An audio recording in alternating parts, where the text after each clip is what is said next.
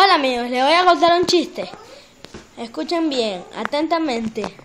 A una señora le decían que tirara su bebé y la señora estaba desde el quinto piso. La señora no quería, no quería tirar a su bebé. Ya. Y todo, y como vieron que tenían una camiseta amarilla pensaban que era barcelonista. Y como por estaba Máximo Manguera dijeron, señora, señora, lanza su bebé que Máximo Manguera se la atrapa. Ya. La señora lanza su bebé, ya. Luego Máximo Manguera lo atrapa. Está mirando para atrapar a los señores.